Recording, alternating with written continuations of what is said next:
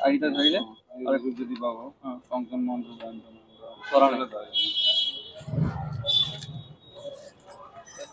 প্ৰথম কথাটো হৈছে যে এতিয়া দেখিছোঁ আহ, গাড়ীৰ নামত।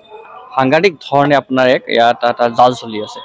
আৰু আমাৰ সহজ সৰল মানুহবোৰক তেখেতসকলে বিভিন্ন ধৰণৰ আবোৱা পৰা কথাবোৰ কৈ মেলি তেখেতৰ পৰা ধন সৰকিবৰ কাৰণে।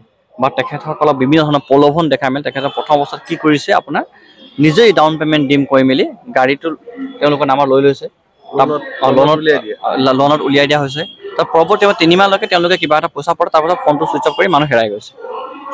তাৰপাছত এই ৰাইজক এতিয়া বেংকৰ পৰা হাৰাশাস্তি হৈ আছে আৰু আনফালে গাড়ী একেবাৰে হেৰাই গৈছে আৰু লোনৰ বোজাটো সাংঘাতিক ধৰণে বৃদ্ধি পাই আছে।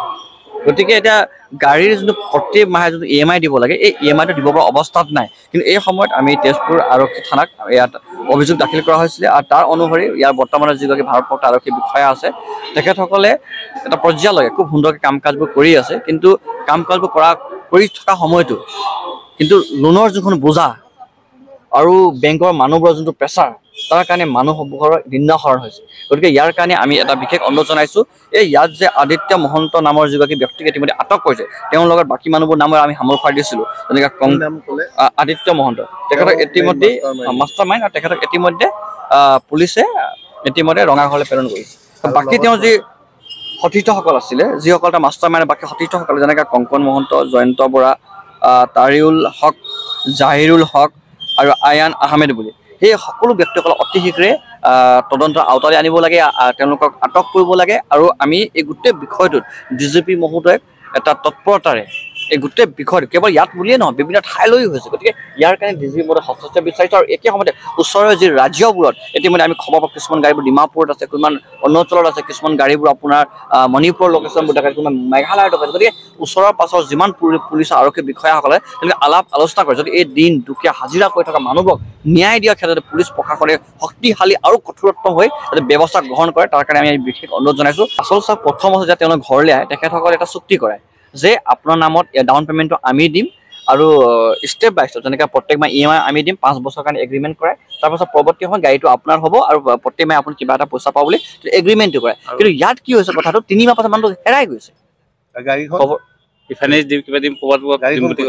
গাড়ীখন ইতিমধ্যে যেনেকৈ জি পি এছ লোকেশ্যনবোৰ ট্ৰেক কৰি ওলোৱা মতে বা পুলিচে যেতিয়া বিচাৰ কৰি আমাক দিছে গাড়ীবোৰ কিছুমান গাড়ী লোকেশ্যন আছে ডিমাপুৰত।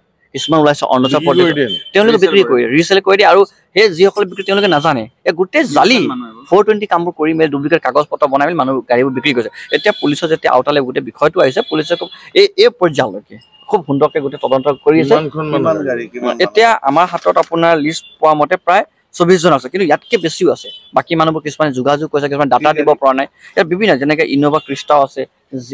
জিমি আছে তাৰপাছত বলেৰো আছে অধিক সংখ্যক তাৰপাছত ভাল ভাল গাড়ীবোৰ আছে গতিকে। গতিকে কথাটো হৈছে যে ইয়াত তেওঁলোকে গাড়ীবোৰ লৈছে বিক্ৰী কৰিছে কিন্তু আটাইতকৈ বেছি কষ্ট পাইছে এই দিন দুখীয়া হাজিৰা কৰে এখন সপোন দেখি তেওঁ গাড়ীবোৰ দিছিলে এতিয়া নিন্দাহৰণ বেংকে সাংঘাতিক কষ্ট প্ৰেছাৰ ঘৰত দিনে ৰাতি মানুহ আহিছে। গতিকে এই গোটেই বিষয়টোত আমি এটা উচিত হস্তক্ষেপ বিচাৰিছোঁ যি যি গাড়ী য'ত ফচি আছে ওচৰৰ চুবুৰীয়া ৰাজ্যবোৰৰ কথা পাতিব অতি শীঘ্ৰে আন এটা শক্তিশালী ভূমিকা পালন কৰে আৰু যি গাড়ীবোৰ জি পি এছ নাই তাৰ কাৰণে তেওঁলোকে কিবা এটা ষ্টেপ লয় তাৰ কাৰণে আমি অনুৰোধ জনাইছোঁ। মোৰ গাড়ীখন ৰিফাইনেৰি দিম বুলি কৈছিলে।